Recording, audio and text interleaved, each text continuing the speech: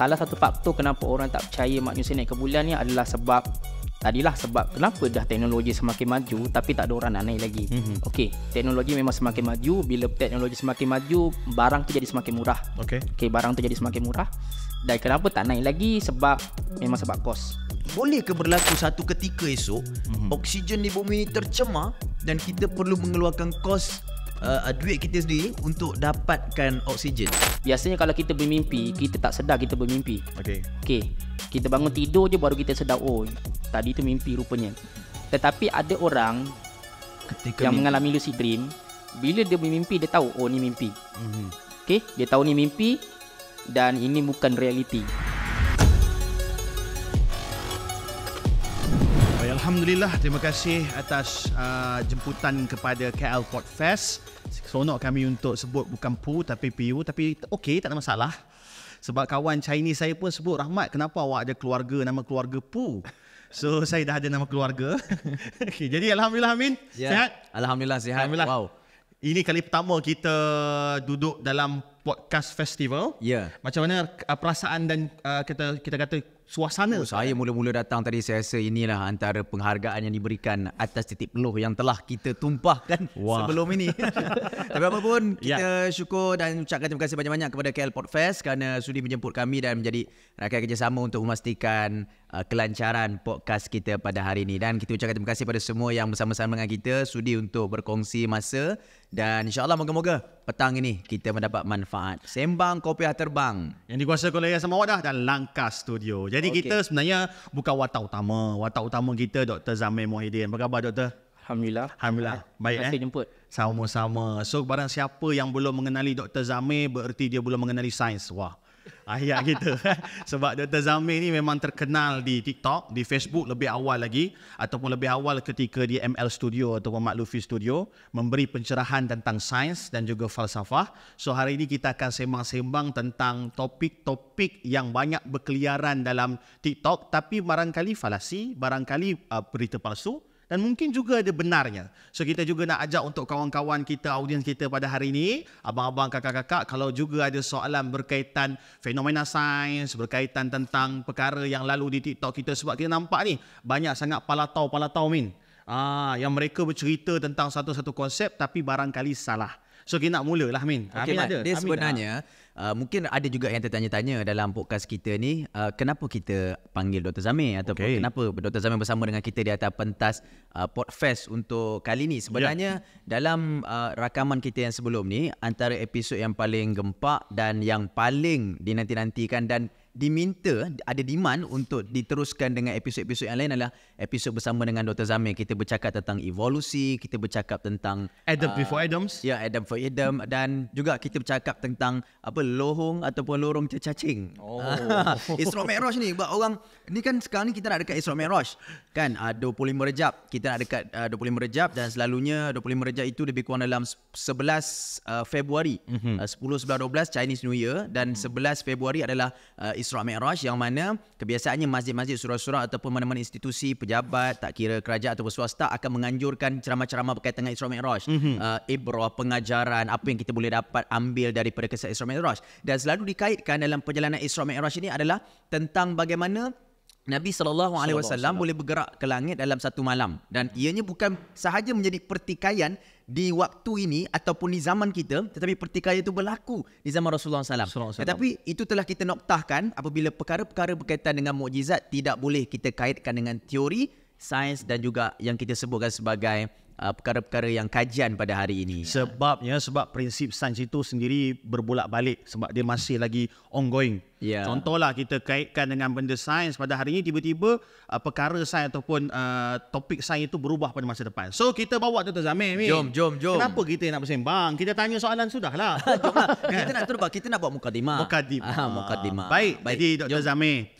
Uh, soalan ni berulang banyak kali dan saya pun percaya Dr. Zamir dah buat pun satu video uh, berkaitan hal ni. Tapi kita nak ulang pada hari ini, ada ke tidak alat ataupun teknologi yang boleh mengawal cuaca? Uh, dia sebenarnya saya nak cakap macam ni eh. Alat tu ada tapi dia belum uh, berkesan lagi untuk mengawal, mengawal cuaca. Mengawal cuaca. Uh, alat tu ada tapi belum berkesan lagi untuk mengawal cuaca. Biasanya cara untuk setakat ni cuaca yang dimaksudkan dekat sini adalah cara nak turunkan hujan lah. Cara nak kata. Ah, cara nak turunkan hujan contohnya kemarau. Kan kemarau boleh mengakibatkan tanaman mati dan sebagainya. Jadi uh, saintis cipta sesuatu yang boleh hujan tak turun tapi kita boleh buat ke hujan tu turun. Mm-hmm. Ha, sebab bila kita sebut cuaca ni dia ada banyak bentuk. Betul. Kan cuaca, taufan, uh, kemarau ataupun ribut dan sebagainya. Gunung berapi pun kira dalam sebahagian daripada bentuk cuaca juga. Cuma isu dia isu bila cakap pasal teknologi kawal cuaca ni lebih kepada nak turunkan hujan lah. Okey.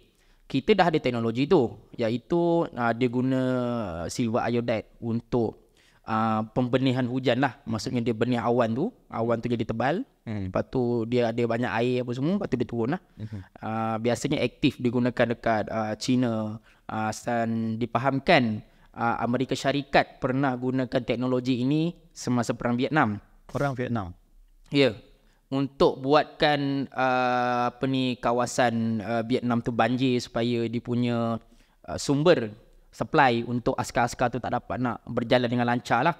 Dan uh, China gunakan pula untuk suburkan tanaman diorang dan sebagainya. Jadi alat tu ada tapi untuk turunkan hujan. Cumanya uh, setakat saya tahu dia cuma berkesan tak berkesan lah. Mungkin jadi, mungkin tak jadi. Uh, jadi benda tu jadi kadang-kadang boleh jadi tak jadi. Dia Cuma, tak sampailah tahap macam... Aha gem, boleh buat gempa bumi, yeah. boleh buat tsunami. Sebab ya adalah pendakwah kawan-kawan pendakwah kami juga ha. uh, yang pakai kopiah lah hari ini kami tak pakai kopiah kan? sebab sembang kopiah terbang. yang menggunakan uh, cerita-cerita seolah-olah ada satu kuasa tak kisahlah mereka ke Rusia ataupun third force yang boleh buat gempa bumi, hmm. taufan, yang hmm. boleh buat tsunami. So hmm. semua ni adalah dia kata uh, manusia yang menciptanya supaya menjatuhkan negara-negara Islam mm-hmm. dan sebagainya. Mm-hmm. Boleh ke sampai tahap itu? Memang tak boleh. Untuk sekarang? Ke sampai bila-bila? Saya tak tahu nak cakap. Tak tahu nak tapi cakap. sekarang memang tak ada. Sekarang memang tak, tak ada. ada. Lagipun kita kena tahu juga Amerika Syarikat yang selalunya mm-hmm. dituduh uh, melakukan bencana ni, mm-hmm. tsunami, gempa bumi dan sebagainya ni, mm-hmm. pun mengalami bencana juga. Hmm, takkan dia buat diri sendiri Takkan ya? buat dekat negara dia sendiri Baik. Kalau di kononnya boleh kawal cuaca Kenapa dia tak prevent Bencana itu berlaku kat negara dia sendiri Baik. Kita kena tahu eh Bencana dengan taufan yang berlaku dekat Amerika Syarikat tu Lagi teruk Daripada yang berlaku dekat Misalnya dekat Malaysia ke hmm. Dekat negara-negara Islam ke Malah boleh mengalami kerugian Berjuta berbilion ringgit Disebabkan oleh bencana kalau mereka boleh kawal bencana baik dia orang kawal bencana dekat negara dia orang sendiri. Betul. Hmm. okay. okey amin ada soalan berkaitan sains? Amin macam tak berminat dengan sains saya sains je sains je lagi soal sains kat cek ha, lagi senang okey jadi uh, kalau tadi kita cakap tentang kita kita masih lagi tak pergi jauh lah dengan hmm. berkaitan cerita tentang uh, rekaan cuaca ni kan mm-hmm. sebab ini memang selalu berlaku lah bila berlaku gempa bumi ataupun hujan yang terlalu banyak mm. dekat tempat kita ataupun kemarau tiba-tiba mm-hmm. dia dikawal dan kebiasaannya dia ni mungkin berlaku ataupun berpunca daripada kajian-kajian daripada beberapa tokoh-tokoh berkaitan dengan hadis-hadis akhir zaman. Mm-hmm. Soalan saya dengan Dr. Zamin ni adalah bila Dr. Zamin ni uh, bertembung dengan geng-geng yang memang suka mengkaji tentang ilmu-ilmu akhir zaman ni, akhirnya selalu berlaku pertembungan, selalu sangat. Mm-hmm. Uh, dan kebiasaannya mengatakan geng-geng Dr. Zamin ni adalah geng-geng yang tak percaya akhir zaman, kewujudan tanda-tanda akhir zaman dan geng-geng yang mengkaji akhir zaman ni seumpama geng-geng yang terlampau jumut yang menakut-nakutkan orang. Jadi apa titik tengah dia?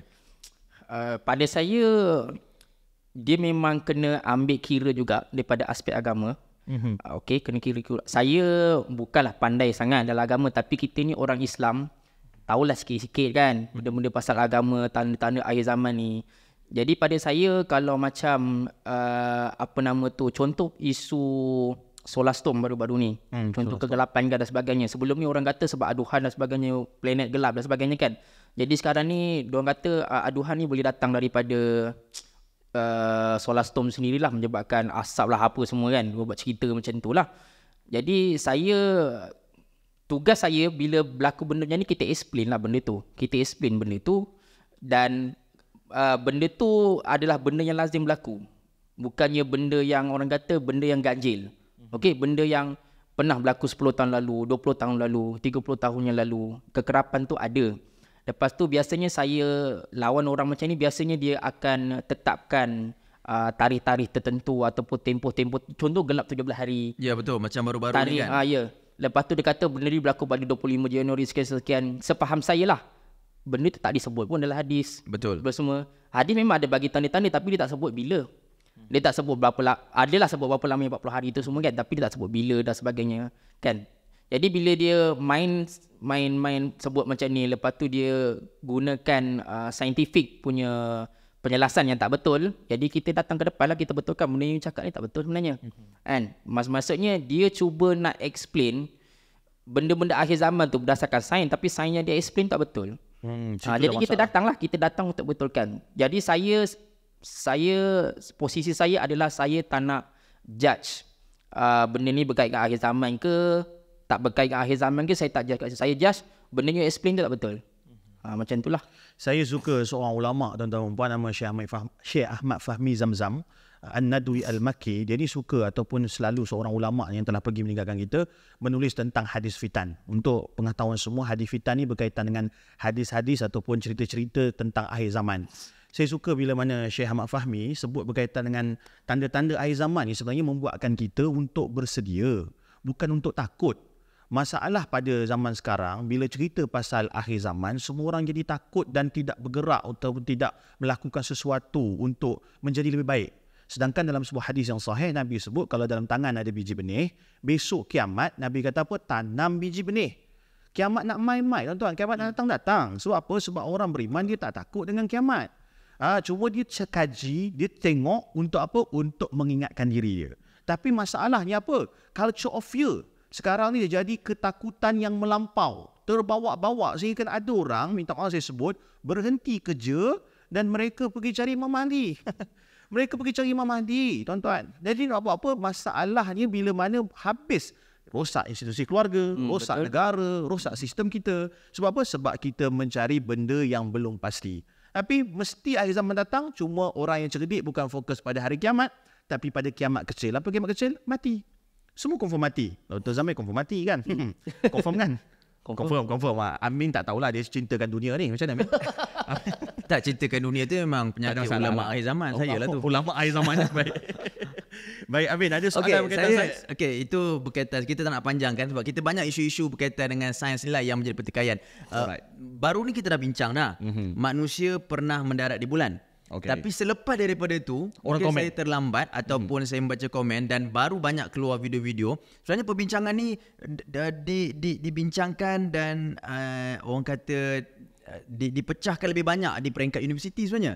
Okey, okay. kita bincangkan tentang sebenarnya tak logik dan penipuan yang telah dilakukan oleh mereka bahawa memang manusia tak pernah pun mendarat di bulan dan ia dibuktikan oleh Rusia baru-baru ni. Dan saya rasa Dr. Zamin senyum-senyum tu dia tahulah cerita daripada mana kan. Jadi mungkin Dr. Zamin boleh ceritakan sedikit kepada kita kenapa pentingnya bila manusia uh, berada di bulan ataupun tak berada di bulan mm-hmm. uh, kenapa penting mm-hmm. kita nak tahu cerita benda ni mm-hmm. kan sampai tokoh-tokoh pendakwah yang yang yang kita kata tak perlu kot kita nak bincang pasal manusia ada kat bulan ke tak bulan ke kan Baik. selalunya manusia datang bulan je lah so tak payahlah kita nak cerita sampai ke bulan jadi apa pentingnya Baik.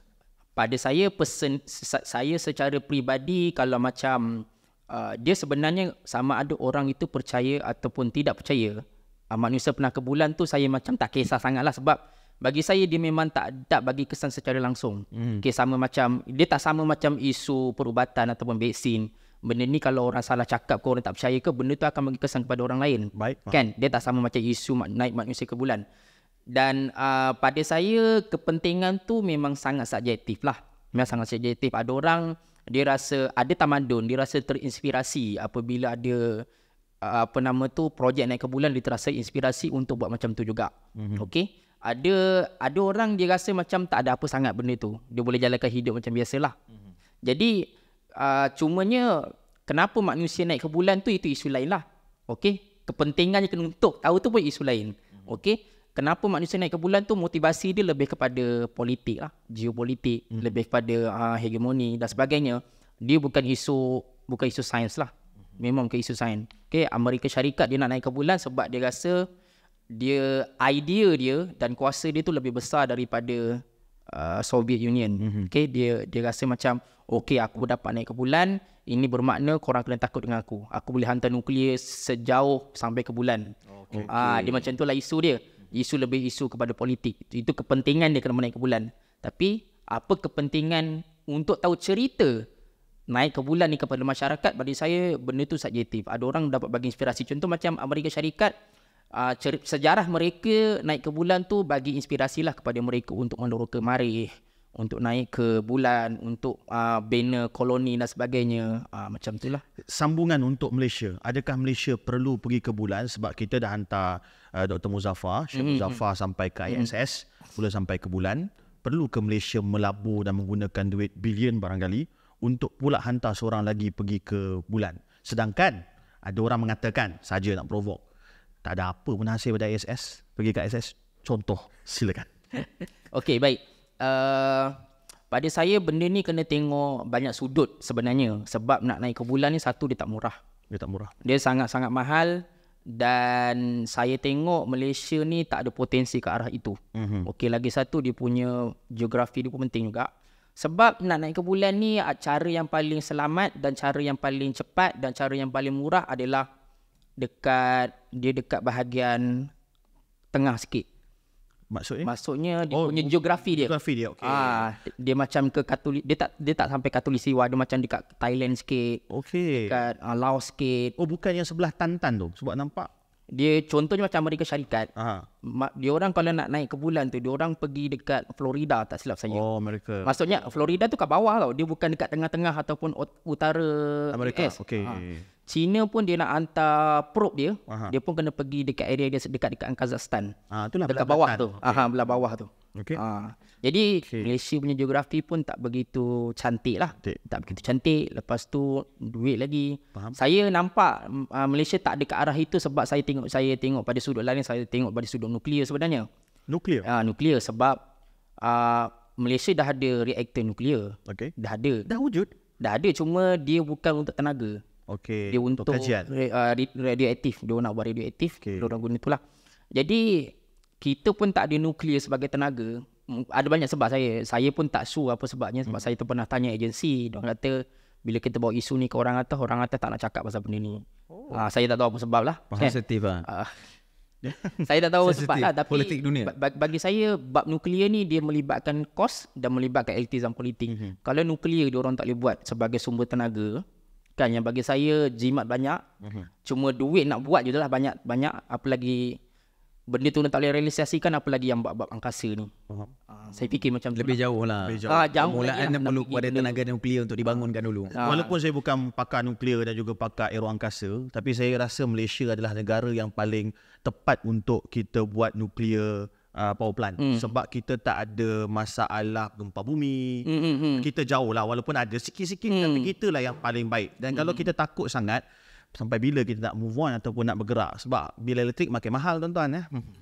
So kenalah ada nuklear hmm. untuk murah. Betul lah. Sekarang ni pun orang dah bergerak kepada kalau macam EV kereta tu kan, uh, electric vehicle dan sebagainya mesti ada satu perubahan baru tapi mungkin ini juga boleh mengancam Yalah. kan menjadi satu ancaman yang besar. Cuma bila sebut pasal nuklear kita terus jugalah saya suka uh, bila bercakap pasal nuklear ni tentang tenaga tadi uh, kita faham bahawa Uh, dunia semakin maju dan ia juga ada kaitan dengan naik ke bulan tadi bahawa kalau dulu manusia dah pernah naik ke bulan okay. sekali dan dengan teknologi yang pelbagai hebat ini takkan kita tak boleh naik berkali-kali uh seperti juga dengan pembinaan dan pembangunan nuklear kan hmm. dan mungkin ada senjata yang lebih dahsyat lagi daripada nuklear yang dirahsiakan hmm. apa komen Dr. Zamir Okey, pertama sekali saya memang nampak ada salah satu faktor kenapa orang tak percaya manusia naik ke bulan ni adalah sebab tadilah sebab kenapa dah teknologi semakin maju tapi tak ada orang nak naik lagi. Mm-hmm. Okey. Dia sebenarnya memang betul uh, manusia uh, teknologi memang semakin maju bila teknologi semakin maju barang tu jadi semakin murah. Okey. Okey, barang tu jadi semakin murah. Dan kenapa tak naik lagi sebab memang sebab kos. Kos. Okey, pertama sekali kita kena clear lah satu benda manusia ni dia tak naik bulan, dia bukan naik bulan sekali je. Dia naik bulan enam kali. Sepanjang sejarah kata moden. Yes. Enam kali. Ah ha, daripada tahun 1969 kali pertama, last kali tahun 1972. Baik. Itu last kali kali keenam lepas tu dah lepas Amerika Syarikat menang perang dingin uh, Amerika Syarikat kerajaan Amerika Syarikat dah tak bagi dana yang banyak kepada NASA untuk projek naik ke bulan lagi. Mm-hmm. Okey. So uh, masa nak projek Apollo tu dia punya cost dia sekitar saya ingat lebih daripada 100 uh, ju- bilion 100 bilion. atau bilion wow. uh, dolar. So diorang invest sangat-sangat banyak. Tetapi dana yang NASA dapat untuk setiap tahun lah Mhm. lebih kurang dalam uh, apa nama 20 bilion. 20 bilion. Beza yang sangat Beza banyak. tak. Beza yang sangat banyak. Jadi memang duit tak ada basically. Tak ada lagi bulan. Dia sama macam uh, orang memang mungkin susah nak percaya lah. Alasan kos ni memang alasan orang kadang-kadang macam ya takkanlah sebab kos Amerika tu kaya kot dan sebagainya kan. Ya. Tapi memang itu realitinya dan kita memang ada dokumen dan ada bajet yang menunjukkan NASA ni terima duit memang tak banyak pun. Tapi kita boleh pergi ke bulan dengan kos yang lebih rendah menggunakan gam cap gajah. cap senapang. Awak ni kena gam ni. Gurau lah jangan kita jangan jangan biasakan lawak uh, gam ni sebab saya pergi ke sekolah ni selingan eh mm-hmm. uh, dua benda yang sekarang sangat menyerang budak-budak dalam ketagihan pertama adalah gam mm-hmm. uh, isak gam yang kedua adalah pil kuda pil kuda sangat murah untuk dapat minta maaf kalau ada orang pantai timur sebelah Terengganu Kelantan pil kuda sangat banyak berlambak mudah murah dan benda ni yang menjadi ketagihan anak-anak kita. Vape ni satu hal lah tapi vape ni saya tengok yalah bukan saya sokong tapi dia tak sampai parah macam gam gajah dan juga pil kuda. Amin kenapa Amin gelak sebab tak adalah sebab saya pernah kena gam. pernah kena gam TV. Pernah kena gam TV. Lain mi lain. Oh lain eh. Kan lah. cerita pasal kena gam TV. Ya biasalah awak kan ustaz akhir zaman eh. Okey baik. Sebab kena gagam TV ni lah menjadi inspirasi untuk kita buat podcast kan. kita buat media kita sendiri. Wah. Kita kan. Okey baik. Uh, Serodo. Okey uh, bila kita dah bercakap tentang uh, sains dan sebagainya, Baik. kita nak bergerak jugalah sedikit dan sedikit tentang banyak isu-isu sains yang kita dah ceritakan sebelum ni. Mm-hmm. Tapi kita nak bawa dalam KL Podcast ni juga tentang baru-baru ni juga Dr. Zamir dah bincangkan dan masih lagi meneruskan uh, tentang huraian uh, lohong cecacing tadi oh. kan yang uh, masih lagi kita bincangkan yang disebutkan uh, diramalkan wujud pada 1915 saintis, saintis jumpa pada 2019 yang menariknya dia boleh mendekatkan perjalanan kita tak nak cerita pasal Isra Mi'raj lah sebab kita tak nak kaitkan dengan teori uh, saintifik tapi kita nak mungkin Dr. Zamir boleh huraikan lagi dalam waktu yang lebih dekat dalam Dia- waktu yang boleh dekat kita boleh capai tak teknologi tu untuk kita bergerak ke masa hadapan ataupun pergi ke belakang sebab Dia- saya nak dia- kembali ke rahmat ni Ah baik dia dia macam macam yang kat movie tu lah kan yang buka oh, lepas tu masuk uh, ke macam tu ke macam mana? Kami movie kaki movie. Ha. Ah Okay, dia macam ni. Uh, ada portal. tak saya nak tanya dulu kat sini siapa yang nak balik ke masa lampau Wow. ada tak okey satu Ni kes dengan X ni. Kes dengan X. Siapa siapa yang rasa kalau lah saya boleh balik ke Masa silam. Uh, tekatan satu, saya boleh balik masa saya kecil. Saya lah saya. Saya nak berhenti, saya nak pakai patah balik nak jumpa Rahmat Ihsan jangan masuk PU. Ha baguslah. Saya rasa sebab menyesal lah masuk. Ada tak? Ataupun siapa yang nak pergi ke masa hadapan? Maksudnya sekarang 2023 dia nak pergi ke uh, 2063 sebab nak pergi haji. sebab dia punya giliran dia 2063 Giliran kan. 2063 ada Contoh ada tak? Tak ada. Kan? Ah mesti mesti ada di kalangan kita yang nak ke hadapan dan nak ke belakang lah. Baik. Ah, jadi agak-agak teknologi tu bila lagi? Berapa lama kita nak kena tunggu? Oh, Macam Uh. menteri inovasi pula. Percepatkan. Tapi saya rasa tu dua soalan beza kan. Tu dua soalan beza kan pasal wormhole apa uh, Aha. cacing tu. Aha. Dia okey, dia macam ni lah. Mhm. Okey, uh, pertama sekali uh, black hole tu, black hole lah. Oh black hole. Oh, black hole tu, black hole Lohong dulu lah. tu. Black hole dulu. Black hole dulu. Okey, black hole ni Ya. diramalkan wujud tahun 1915. 1915. 1915. Baik. Time tu Albert Einstein hidup lagi. Ah. Dan kawan dia yang predict black hole ni boleh wujud sebenarnya. Hmm. Bentuk dia tu boleh wujud dekat angkasa lepas. Okay. Ya, se- sebelum tu Dr. Zamin, semua yang uh, Albert Einstein predict tu dah berlaku belum? Maksudnya semua dah terjadi Banyak banyak dah terjadi. belum? Okey. Jadi, Banyak dah terjadi. Okey, baik teruskan. Aha, okey. So black hole tu mas diramalkan wujud tapi masa tu tak jumpa lagi benda tu. Okay. Hmm. Tak jumpa lagi. Benda tu tak ada lagi ke angkasa lepas. Okay. Dah ada teleskop pun masih tak jumpa lagi dan sebagainya. Tapi semil tahun 2015 Okay. ke 2015 2019. Mm-hmm. 2019 barulah kita jumpa gambar black hole. Ya, baru lagi. Baru lagi. Dia ada Belum dia, sebelum PKP. dia ada kaitan Ah, dengan COVID COVID. tu. Hmm. Dia ada kaitan dengan COVID. Maksudnya hampir 100 tahun hampir 100 tahun tempoh untuk Cari- jumpa Tak jumpa. black hole tu. Cuma kat sini selingan lah saya saya nak cakap uh, scientific teori ni dia pun salah satu keunikan dia adalah dia boleh predict kewujudan sesuatu. Kenapa dia jumpa Wow. oh. kenapa dia dapat jumpa ataupun uh, betul-betul terjumpa kewujudan black hole tu hmm. setahun sebelum BKP. Setahun, setahun sebelum COVID. Kaki konspirasi betul lah. Tak kena Nak tahu. kait- nak kait Itu kalau orang tanya. Ha, ni satu tambah satu bismillah. Faham? Ha. Nak kena tahu juga. Okey, tak ada. Jumpa tu jumpa je kan? jumpa Tu lah. je. Kebetulan. Kebetulan. Atas kajian ke memang Kajian ada lah Memang kajian lah dia, Sebab nak jumpa black hole ni Dia bukan guna satu teleskop Dia guna banyak teleskop Dan dia cerap cahaya gini gini gini. Lepas tu dia susun balik gambar tu. Lepas tu dia dapat agama black hole Jumpa. tu Jumpa 2019. 2019 Okey, okay. Wormhole ni Dia pun diramalkan wujud juga Masa zaman Albert Einstein wujud. Saya tak ingat Tarikh dia tahun 19 16 ke 19 20 something lah. Baik. Okay uh, Dan setakat ini Kita belum jumpa lagi Wormhole Dan kita pun belum mampu buat lagi. Okey, kejap. So tadi black hole, Black hole. sebut wormhole. Wormhole. Benda yang sama atau beza? Dia uh, dikatakan black hole tu ada Bukan dikatakan lazimnya mm-hmm. Black hole tu adalah pintu kepada wormhole Oh, pintu kepada pintu kepada wormhole. Tak, Okey. ma, dia, jadi kita kita tak tahu nak sebenarnya kita tak tahu pun black hole yang kita jumpa tu ada wormhole ke tak. Oh, boleh jadi tiada. Boleh jadi ada, boleh jadi tak ada pun. Okey. Kita tak tahu. Mm-hmm. Jadi tak tahulah wormhole tu wujud ke tak wujud. Mm-hmm. Okey, sekiranya wujud di masa akan datang kita dapat jumpa 200 tahun akan Ah, datang. 200 tahun ataupun 300 tahun akan datang kan kita dapat Baik. jumpa dan kita dapat uh, kontrol mm-hmm. wormhole tu ia boleh jadi pintu yang uh, merengkaskan perjalanan lah mm-hmm. dalam jarak yang jauh menjadi jarak yang dekat contohnya daripada bumi nak ke Marih lebih kurang 2 juta kilometer 2 juta kilometer. ah 2 juta kilometer Berapa kali servis kereta tu eh? 2 juta kilometer. Okey, lepas tu mm-hmm. kalau dengan adanya wormhole dia perjalanan tu akan jadi lebih lebih pendek lah. Mungkin 10 km, Oh, ya. Yeah. mungkin 1 km. Oh. Ha, bergantunglah pada jarak worm tu. Lo lu punya terworm dia tu. Tu. Okey. Itu satu aspek dari wormhole. Baik. Aspek kedua pula yang benda yang mungkin orang tak tahu. Wormhole ni dia terdiri daripada ruang masa. Faham? Okey. Bila kita berpindah ruang, mm-hmm. bermaksud kita berpindah masa juga. Okey. Cumanya masa tu dia akan bukan ke masa belakang lah. Masa depan. Dia ke masa depan. Tak mustahil ke belakang atau mustahil? Mustahil ke belakang. Mustahil ke belakang. Tak boleh mat. Baik. Kalau Boleh lah, belakang kan boleh. kita boleh merosakkan sistem Timeline. manusia uh, sistem timeline kita kan. Um, itu dia punya paradox. Dia itu itu bukan sebab yang kuat lah. Mhm. Aha, tapi sebab yang kuat dia kenapa kita tak boleh patah balik ke belakang adalah sebab uh, darjat kejadian kita ni rendah. Darjat. Ha. Maksudnya? Maksudnya sebab masa ni dia dia empat dimensi. Empat dimensi. Okey. Bukan, bukan empat dimensi, dia dimensi keempat. Dimensi ke? Ha, dia duduk dekat dimensi keempat. Okey. Kita ni makhluk tiga dimensi.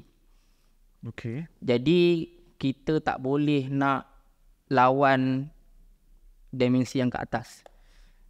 Itu punca kita tak boleh ke, Ah, ke, ke sebab- belakang Masa ni dia bergerak satu arah je. Mm-hmm. Dia bergerak ke depan je. ke depan. Ah, dia gerak ke depan je dan kita kena ikut apa yang masa tu buat. Kalau lah. kita nak renovate pun memang boleh ke depan je. Kita ke depan je. Tak boleh nak kita ke cuma belakang. boleh ke belakang apabila kita naik ke dimensi yang lebih tinggi daripada dimensi masa.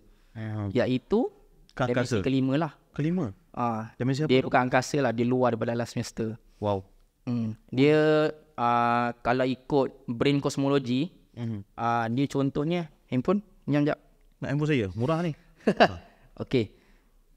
Uh, contoh ni alam semesta kita, Baik. tiga dimensi. Mhm. Dia akan lagi satu alam semesta, tiga dimensi juga yang tak berkait dengan kita. Okey. Dimensi yang tak tak apa. Tak perlu, okey. Dimensi yang ya dimensi yang meletakkan alam semesta ni akan ada satu dimensi besar lah dalam satu kotak misalnya tak tahulah apa benda. Okey. Dan dimensi yang dalam bulatan ni adalah dimensi yang lebih tinggi daripada dua alam semesta ni lah. Yang tidak uh, yang tidak Yang terikut. tidak mengikut masa, Masa dan- dimensi keempat tu. Wow. Kalau Macam tu baru kita boleh kontrol masa lah. Mhm. Mm-hmm. Saya bagi analogi mudah lah. Kita ni dalam ruang, baik. kan ruang, kita boleh bergerak ke depan, ke belakang, ke kiri, Ke kan. ke kanan, ke atas, ke bawah. Ya. Sebab ruang tiga dimensi. Kita tiga dimensi. Jadi kita boleh kontrol ruang kita. Kita boleh ke depan, kita boleh ke belakang, kan? Baik. Tapi masa kita tak boleh macam tu. Masa kita cuma boleh ke depan je. Kita tak boleh nak ke belakang sebab dia ke, dia ke atas kita lah. Darjat kejadian dia ke atas kita.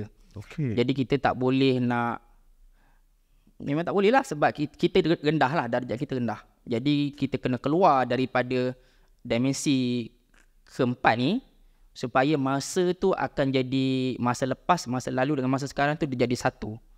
Dia jadi tak linear lah. Faham? Uh-uh. Saya rasa mind blown sebab bukan nak kaitkan dengan akidah tapi bila kita faham bahawa Allah tidak berwujud dan pada masa dan tempat maksudnya Allah tidak terikut dengan masa ataupun tempat maka menyebabkan tidak tua, tidak mati.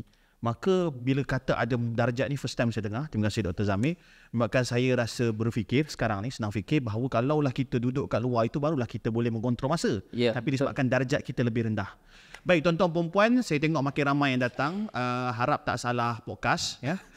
Okey, uh, manalah Kita tahu. punya cerita ni sampai ke Sebab bulan tau. Kami ni dah sampai bulan dah. Kami dah sila, sampai sila. bulan dah ni. Habis Okey. sampai bulan. Tapi uh, sebelum kita nak pergi kepada fasa kedua sebab kita ada masa, kita kena hormat masa tuan rumah. Baik. Kami nak pergi kepada cerita falsafah ataupun cerita tentang falsafah sains uh, dan juga falsafah kehidupan. Tapi sebelum kita pergi kepada tajuk falsafah, uh, kalau ada soalan berkaitan sains, uh, kita akan Alu-alukan. alu-alukan selepas ini kalau tuan-tuan perempuan nak bertanya sebab kita ada session Q&A dan pada waktu itu dibagi diberitahu kepada kami daripada komiti ada hadiah. Ah, ada hadiah menanti untuk siapa yang bertanya kepada kita Q&A tapi selepas rakaman podcast. So, kekal bersama dengan kami untuk hadiah misteri. Saya dengar ada percutian. Percutian di rumah sendiri ya. Ya. Ni saya gurau, saya gurau. Tapi memang ada uh, voucher untuk diurikan. Jadi Min masih lagi kita bincang tentang sains nak bergerak bergerak Sunnah ke bagi-bagi hadiah ni? Sunnah Min. Kata Ya. tak boleh. Tak, tak boleh, boleh. Oh boleh eh? boleh, boleh. Oh, okay, itu nanti kita bincangkan di waktu nanti. yang akan datang. Okey, Okey. okay. Dr. Zamir, uh, kita masih lagi cerita pasal masa tau. Uh, Okey, kita masa memang terus berjalan. Aha. Cuma dalam perbincangan kita hari ni, kita setuju kita tak boleh terkebelakang. Mhm. Ke belakang. Dan, uh, kita tak boleh ke belakang, maafkan saya. Dan kita boleh ke hadapan mengikut kepada teknologi dan juga kepakaran masa-masa yang akan datang. Cuma ketika ni soalan saya dan adakah boleh kita memberhentikan masa? Memberhentikan masa dalam beberapa detik ataupun beberapa ketika mungkin itu sebagai senjata ataupun kepentingan ataupun itu sekadar kajian teknologi ataupun pernah diteorikan. ber okey. Dia boleh berhentikan masa. Cumanya bukan bukan kita lah yang berhentikan masa tu. Uh, baik. Ap, saya kena cerita pasal graviti lah. Okey. okey graviti ni bila kita pergi kat tempat yang bergraviti tinggi masa yang kita alami akan jadi lebih perlahan. Okey? Saya kena jelas lah kat, dekat sini bahawa bila kita cakap masa tu lebih perlahan maksudnya dia bukan jam kita je lah yang perlahan. Maksudnya kita takkan tua kan? Ya, pertumbuhan lambat kita. dan sebagainya kan? Baik.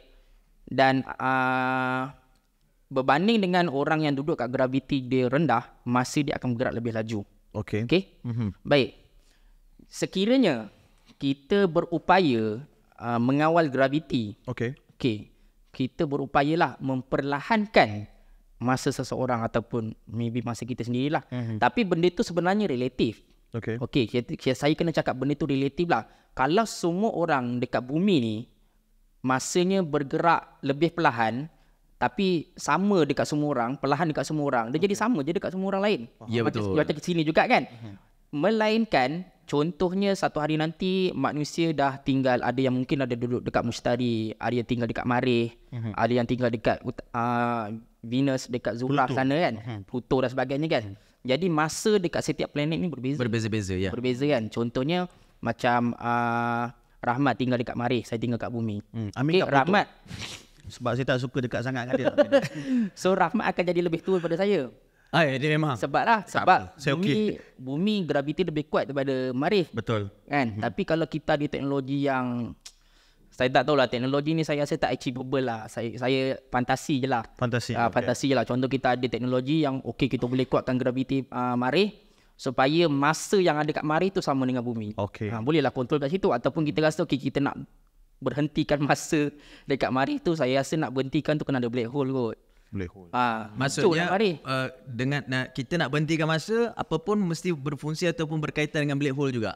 Black hole lah sebab black hole ni dia punya graviti, dia sangat sangat kuat sehingga kan masa tu hampir nak berhenti. Hmm. Maknanya semakin kuat graviti, Semakin semakin, perlahan masa. perlahan masa. Saya nak untuk kaya juga kita maksudnya kalau untuk kita pergi ke satu tempat dan keadaan mana kita nak lambat tua lah. Hmm. Nak perlahankan masa nak lambat tua, teknologinya adalah duduk di tempat yang, Yang bergraviti bergraviti tinggi. tinggi. Baik, baik, baik.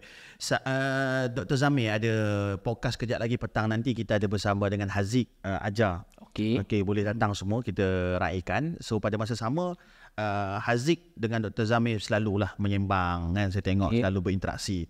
Uh, ni saya nak mula pergi pada falsafah uh, sikit sebab kita nak pergi pada fasa kedua kita bercerita tentang falsafah, Jom. tentang bercerita tentang kehidupan dan juga falsafah sains itu sendiri. Hmm. Uh, untuk kami agamawan ataupun pendakwah, kita nak tanya satu soalan pada Dr. Zamir dan mungkin Haziq nanti saya akan tanya. Sebenarnya menggunakan falsafah apa ataupun kaedah mazhab pemikiran mana? Contoh sebab Haziq dia saya tengok dia lebih pada uh, lebih kepada Asy'ariyah mungkin. Mungkin saya tak tahu. Saya tengok macam tu lah nampak Asy'ariyah. Dr. Zamir mm. Okey, Dr. Zamir mungkin mungkin mungkin saya tak tahu, mungkin ke Salafi, mungkin ke tak? Ke ahli kalam. Ke ahli ahli kelam.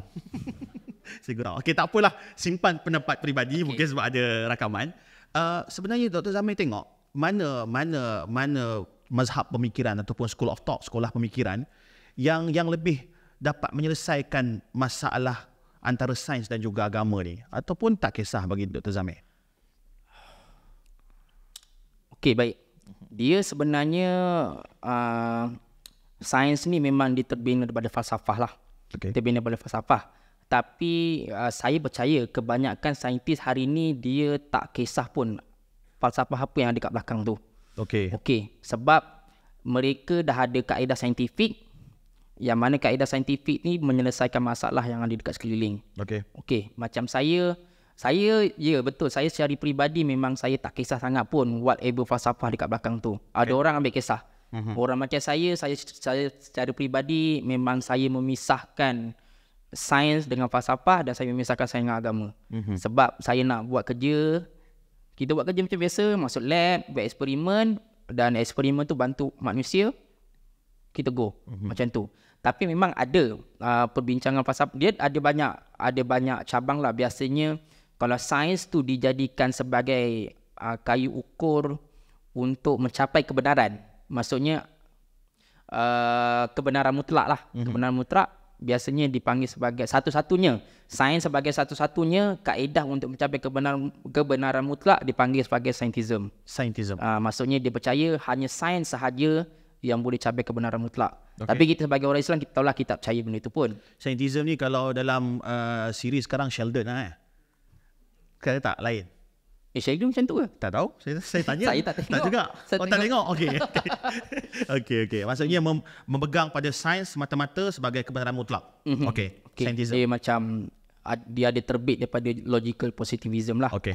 Okay, maksudnya uh, hanya sains sahaja yang dijadikan sebagai kayu ukur Baik. untuk mencapai kebenaran. Okey. Tapi ada ada orang dia dia tak anggap macam tu. Dia anggap sains ni adalah alat Mhm. untuk mendekati kebenaran. Okey. Maksud approaching the truth. Okey. Bukan sampai kepada kebenaran, dia approaching lah. Hmm. Maksudnya bila kita jumpa uh, sesuatu ataupun kita gagaskan teori saintifik, teori saintifik tu adalah uh, mungkin 99.99% Okey. kebenaran. Dia bukan 1% lah. Mm-hmm. 1% kita takkan tahu sampai bila-bila sebab uh, indera kita, uh, keterbatasan kita, otak kita ke ataupun kita punya pancat indera kita ataupun kaedah kita ataupun banyak variable dekat sekeliling kita yang mungkin kita tak ambil kira pun benda tu semua. Faham? Dan uh, benda tu bagi efek lah kepada dapatan yang kita dapat tu. Baik. Okey. Kelompok ini dipanggil Uh, yang tu saya tak begitu pasti. Saya rasa ini adalah bentuk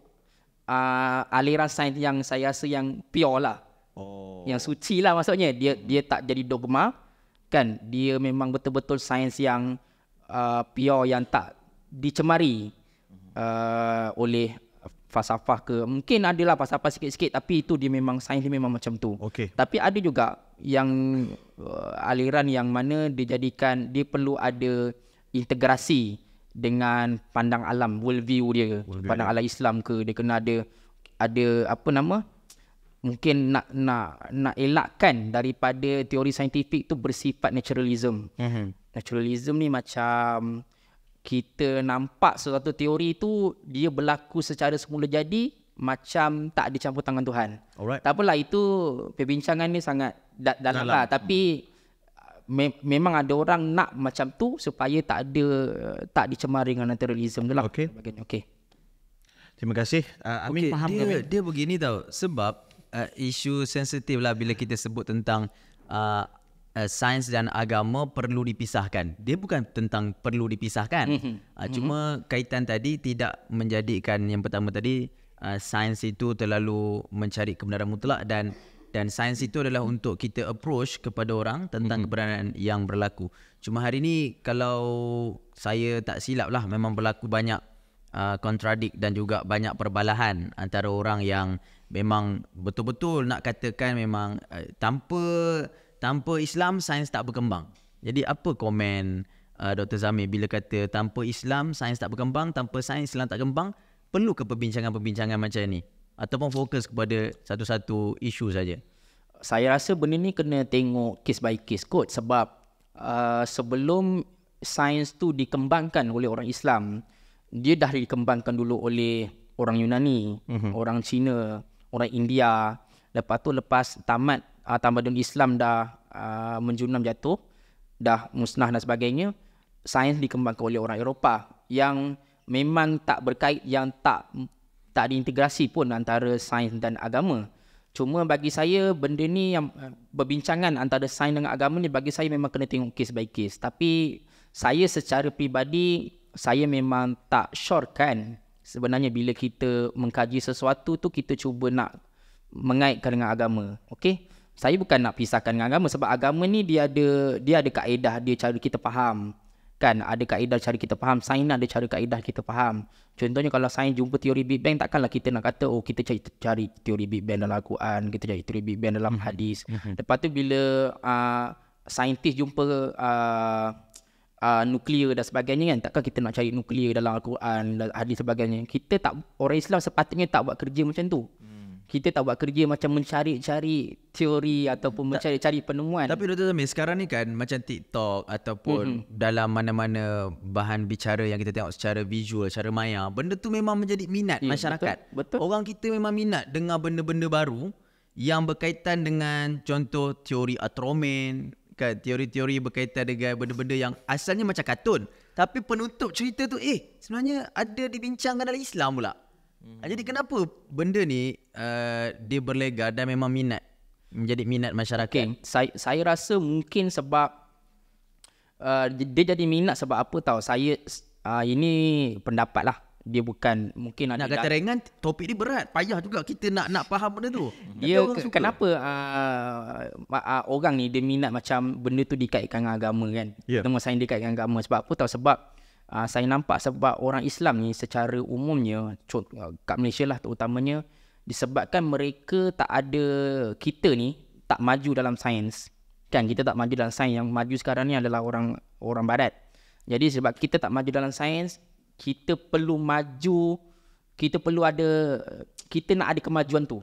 Kita nak ada kemajuan tu tapi kita tak dapat secara fizikal jadi kita uh, rujuk kepada agama benda yang kita ada dan kita anggap agama tu sebagai lebih maju daripada sains Ya Faham betul tak? Itu kita setuju kita kita akan anggap eh Al-Quran dah jumpa dululah benda ni sekian sekian sekian kan mm-hmm. kita rasa macam kita lebih maju pada orang barat sebab kononnya kita dah jumpa dulu dan sebagainya kan Betul. tapi benda tu bukan kerja yang kerja yang bagus lah kalau kita nak maju kita buat kerja ya Saya suka bila Dr. Zamir sebut uh, sikap kita yang suka memaksa sains masuk ke dalam Al-Quran. Bahkan kita mencari-cari dalil dalam Al-Quran untuk kena dengan sains. Itu adalah sikap yang tercela. Saya boleh cakap tercela. Kenapa? Sebab sains ni dia bukan absolute truth. Dia bukan benda yang... yang, Eksperimen. yang uh, dia benda yang sentiasa berubah, evolve. Tuan-tuan, tiba-tiba sekarang, tiba-tiba lah mana tahu lagi 10 tahun, keluar teori bahawa oh Big Bang dah tak valid. Contoh. Hmm. Big Bang tak valid. Ada lagi satu uh, apa uh, kuasa uh, uh, Big Bang KJ contoh. Lah kan. Contoh. Kan? Big Bang KJ kan. Yang dia dia keluar daripada teori lain. Pada waktu tu adakah kita nak cari kod cari kod dalam Quran yang nak kait dengan Big Bang KJ tu? Tak tak tak kena. So kita jangan menjadikan sains itu untuk kita cari dalil dalam al-Quran sebab sains sendiri bersifat berubah dan evolve. Saya Evolusi. nasihat saya satulah Rahmat. Ya. Apa yang tersedia dalam Al-Quran dan Sunnah itu pun masih lagi belum sepenuhnya kita amalkan. Kita belum kaji lagi. Masih belum lagi kita habis kaji dan ianya menjadi sebagai baton untuk kita terus menerus mengkaji. Ya. Dalam masa yang sama kajian-kajian baru yang ada ni kita serahkan kepada ahlinya lah. Maksudnya Dan- beramal dengan apa yang sedia ada dulu. Kemudian yang masih lagi kita ragui kita serahkan kepada masa untuk menentukan. Okey, saya nak tutup satu perkataan dengan perkataan guru saya. Saya pernah sebut sebelum ni, Ustaz Asri dia kata apa? Sebenarnya Quran ini bukan the book of science, S C I E N C S, tapi Quran ini adalah book of sign, S I G N. Dia adalah buku tanda-tanda untuk kita mengenal kekuasaan Allah. So, baca Quran untuk rasa kewujudan Tuhan, bukan kita mencari benda-benda sains dalam itu. Kalau ada, tak ada masalah, tapi bukan menjadi absolute truth kita. Dr. Zamir, kita masih lagi cerita tentang falsafah sains. Saya sebenarnya terlajak bila saya tengok komen orang kan. Dia kata sebenarnya ada yang tak faham apa tu falsafah sains. Kita dah laju, advance sangat ni kita sembang. Sebenarnya apa asas? Kelas dah habis tajuk Tajuk. tajuk tajuk buku tak faham. Kau Saya- ni ceritalah dulu tajuk apa? Orang lain. tak Orang lain. pasal aku terkejut ramai ni. Salah-salah podcast ke apa? Tak, memang kita ramai follower. Alhamdulillah. Kadang-kadang. Alhamdulillah. Kita berapa kali FYP Min. Jangan Min. Okay, so berkaitan tentang uh, falsafah sains, apa dia pilar-pilar ataupun asas-asas Orang orang dia yang... sebenarnya banyak banyak cabang dia lah bila Okey. okay. kita sebut pasal-pasal sains ni. Contohnya macam ada satu cabang ni bila dia melibatkan kepada data yang kita cerap. Okay. Misalnya kan bila kita cerap sesuatu, mm. cerap ni observe lah. Okey, bila observe. kita cerap sesuatu adalah adakah sesuatu itu boleh dijadikan sebagai sumber ilmu. Mm-hmm. Epistemologi lah misalnya boleh jadi kat situ. Lepas tu dia juga boleh jadi kepada macam mana uh, apa nama kaedah saintifik itu terbangun. Okay. Okey, itu pun boleh jadi sebagai satu cabang dalam falsafah sains. Mm-hmm. Okey, adakah sains ni boleh mencapai kebenaran? Okay. Itu Okey. pun boleh jadi satu falsafah sains. Dia sebenarnya banyak cabang lah. Banyak cabang. Banyak cabang dekat situ. Tengok dia kena tengok case by case apa yang kita nak cakap pasal pasal falsafah sains. Falsafah sains. Ha. Okey, Dr. Zamir. Uh, kita dah cerita tentang falsafah sains. Sekarang kita nak pergi ke topik yang baru. Masih lagi bercerita pasal sains. Dan ianya dibincangkan oleh Dr. Zamir. Memang minat saya bukan kepada apa yang Dr. Zamir post. Tapi apa yang dikomen oleh netizen. Sebab Sebab dia pun banyak haters kan? Ah, dia banyak haters. Ah, kita kena follow orang banyak haters ni seronok. Okey. Uh, kita daripada kecil, daripada sekolah, kita tahu oksigen berpunca daripada pokok. Pokok, ya. Karbon dioksida. Dia keluar uh, oksigen, kemudian kita sedut, keluar karbon dioksida, kemudian itulah fotosintesis yang berlaku. Mm-hmm. Tapi bila Dr. Zamir keluarkan satu kenyataan dan ada dengan kajian tentang bahawa sebenarnya uh, 50 ke 80% sumber oksigen di bumi datang daripada lautan. Jadi komen kat situ katalah uh, kalau dekat tengah padang pasir mana pula nak datang laut? Laut tak ada ni. Kan kalau kita duduk kat tempat yang jauh daripada laut tapi oksigen tu tak ada. Adakah kurang oksigen? Dan benda ni kita nak cerita kenapa kita tak tahu oksigen ni datang daripada laut? Yang kita belajar daripada pokok ataupun memang ianya berlaku secara tak langsung dan kita tak sedar. Dipersilakan Datuk Zamir. Okey. Dia sebenarnya uh, masa bumi bumi dia terjadi lebih kurang 4. 4.5 bilion tahun yang lalu. Okey, masa tu bumi dia tak ada oksigen. Dia banyak karbon dioksida. Lepas tu dia punya permukaan dia terdiri daripada lautan lava. Okey. Lepas tu lebih kurang uh, 3.5 bilion tahun yang lalu, zaman Archean baru ada laut. Okay. Okey, ada laut. Lepas tu masa tu oksigen pun tak ada lagi. Mm-hmm. Yang ada karbon dioksida dan tapi pada ketika itu kehidupan dah ada. Okay. Okey, hidupan dah ada tapi hidupan duduk dekat dasar laut lah. Duduk dasar laut dan mereka tak perlukan oksigen pun untuk hidup. Wow. Wow. Tapi uh, lebih kurang 2.5 bilion tahun lalu uh, hidupan dia single cell lah. Mm-hmm. Okey, single cell dia tak ada kehidupan yang kompleks lagi, dia naik ke permukaan air. Lepas tu dia terima uh, cahaya matahari. Okay. Okay, so dia mula berevolusi jadi uh, spesies fotosintesis. Okay. okay. So itu kira fotosintesis yang pertama dan daripada situ baru ada oksigen dekat bumi. Okay. Okey, oksigen mula berada dekat bumi. Panjang cerita nak ada oksigen ni kan.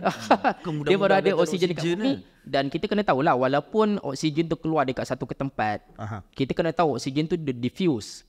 Okey, dia Betul. macam kita letak nila kat dalam susu, Dia dia, tersebar. akan ah sebar lah, dia tak akan duduk kat satu tempat je. Betul. Okay, dia kata sebar ke satu permukaan bumi lah. Mhm. Ah, jadi pokok pula dia lambat. Dia muncul lebih kurang 500 juta tahun yang lalu. Oh, kira pokok ni junior lah. Eh. Junior lah. So Laut dulu tu, baru ada pokok. Uh, plankton, plankton, rumpai-rumpai uh, laut semua dah ada mm-hmm. dan mereka, benda tu lah yang supply oksigen dekat bumi kita ni sebenarnya. Baik, baik. Mm. Soalan saya Dr. Zamir. Apa kena mengena plankton dengan Krabby Patty? Kenapa dia nak sangat ras? saya gurau, saya gurau. Okay. Sebab kalau budak-budak biasa plankton dia kenal SpongeBob lah kan, SquarePants. Okey, okay. uh, Dr. Zabir, dia saya saya saya suka jugalah bila cakap pasal oksigen ni sebab saya minta maaf lah bukan kita ni uh, nak kata kaki movie tapi nak tak nak memang zaman ni zaman movie kan banyak cerita-cerita dan memang kalau mana-mana budak pun kalau kita cerita dia akan berfantasi mm-hmm. Dr. Zamir tentang satu hari nanti oksigen di bumi akan Habis. akan habis. Ni tak jumpa dalam hadis fitan lah kan. Tak ada. Tapi ia di, difantasikan dalam movie akan habis, akan rosak, akan tercemar. Uh, dia bukan macam kita pakai mask tu sebab uh, sebelum ni ada virus dan sebagainya. Satu hari nanti memang uh, oksigen tu hanya diberikan kepada orang kaya saja, berkasta tinggi saja. T20. Orang Orang B40 dia tak dapat oksigen lah. Dia dapat oksigen yang kalau B40 kalau siapa yang semput tu B40 lah. Kira dia kurang oksigen. Ataupun dia perlu keluarkan kos yang tinggi mm-hmm. untuk mendapat oksigen yang baik seperti mana M40 ataupun T20 kan. Contohnya hari ni. Jadi boleh ke berlaku satu ketika esok mm-hmm. oksigen di bumi ni tercemar dan kita perlu mengeluarkan kos uh, duit kita sendiri untuk dapatkan oksigen. Saya setakat saya tahu prediction tu tak ada lagi. Okay. Mm-hmm. Tak adalah oksigen uh, apa nama tercemar tu setakat saya tengok tak ada lagi melainkan berlaku perang nuklear mm-hmm. ataupun gunung berapi yang dekat Indonesia atau gunung berapi yang besar-besar tu meletus.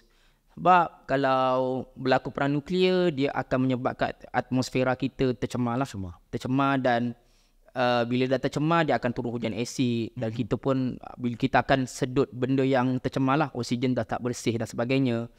Kalau benda tu terjadi memang akan tercemar lah. Ia berlaku dengan tangan manusia lah bukan disebabkan secara semula jadi. hmm, gunung berapi semula jadi. Semua jadi. Okey. ha, gunung berapi semula jadi. Kalau nuklear manusia lah. Ha, boleh jadi macam tu lah senario dia Tapi tak pelik sebab sekarang pun kalau kita tengok di media sosial ada orang menjual air. Menjual air yang lebih berkualiti dan ada orang sanggup membayar untuk air yang lebih berkualiti. Konon air gunung Alps lah apa semua ni. Maksudnya kalau memang pada waktu tu tercemar udara, ada minda kapitalis nak jual udara yang lebih segar, why not? Betul lah kapitalis Ah, apa minda saja. kapitalis lah. Apa semua benda boleh jual, dia jual. Dia jual. Ah, kan macam Amin kan jual agama, bukan? saya Wah gua- wah wah. Saya gua. Kau makin ramai orang Makin makin lancar. Baik, uh, Dr. Zamir, saya nak tanya tentang lucid dream. Kalau Dr. Okay. Zamir boleh bagi uh, mukadimah awal tentang lucid dream, baru kita akan serang lebih dalam tentang lucid dream. Lucid dream ni apa sebenarnya? Okay. Uh, lucid dream ni adalah uh, pengalaman mimpi yang mana kita menyedari bahawa kita sedang bermimpi. Okay. Mimpi dalam mimpi. Bukan? Kan? Dia macam biasanya kalau kita bermimpi, kita tak sedar kita bermimpi. Okay. Okay. Kita bangun tidur je baru kita sedar, oh tadi tu mimpi rupanya. Tetapi ada orang Ketika yang mengalami lucid dream, bila dia bermimpi dia tahu, oh ni mimpi. Mm-hmm. Okay? Dia tahu ni mimpi dan ini bukan reality. Yelah masa dia nak jatuh tu tu. Ah ni kalau jatuh ni dia boleh buka mati. mata ah, tak mati. Ha, dia macam tu lah. Jadi, ha, itu lucid dream lah. Okey. Orang yang kerap mengalami lucid dream ni, dia akan boleh mengawal realiti mimpi dia sendiri. Wow. Menarik. Go. Kawal. Ha, masuk kawal tu Dia maksudnya boleh pilih lah boleh, dia nak mimpi dengan siapa. dia boleh ubah realiti dia lah. Oh. Macam cerita apa tu? Tak, tak saya, tu. saya tak tengok cerita. Saya baca Quran je. Inception. Research. Ah, Christopher Nolan ya. Cerita yang... Okay, mimpi. Okay, okay, okay. okay. Ha. Hmm. Lebih kurang macam tu lah. Ha, tu lucid dream. Okay. Tu lucid dream secara asasnya. Maksudnya kita boleh kawal mimpi kita. Mhm. Soalan seterusnya. Boleh tak sampai satu teknologi kita boleh programkan mimpi kita? Ah, actually tahun 2000 saya tak ingat 2019 ke 2018 ke mm-hmm. ah saintis dia dah ada dia tak adalah bukan dia macam mana cakap dia ada prototype lah dia buat kat makmal lah. Okay. Sebab saya definisikan teknologi ni sebagai benda yang orang awam dah boleh pakai. Oh. Ah, so okay. benda tu dia orang dah buat eksperimen ada Dalam alat dia makmal. ada kat makmal yang mana orang dia boleh induce orang yang tengah tidur tu untuk dia boleh kawal mimpi dia sendirilah. Wow. So dia macam sort of artificial lucid dream lah. Oh. Mm-mm. Maksudnya dia boleh kontrol mimpi tu daripada luar. Ui, saya rasa itu teknologi yang cukup baik sebab saya du- duduk sembang-sembang dengan kawan-kawan kita ada mental health. Dia orang memang mempunyai masa tidur yang sikit sebab mereka diganggu pada waktu Ya, tidur. betul, betul. So kalau ada teknologi yang boleh bagi tidur yang berkualiti itu satu mm-hmm. pencapaian manusia yang cukup baik. Mm. Sebab kita boleh keluarkan satu manusia yang dapat rehat yang baik dan besok akan lebih produktif. Hmm, betul. So, cuma belum sampai peringkat teknologi mm-hmm. maksudnya belum kepada orang awam. Mm-hmm. Ada ada sebab kenapa?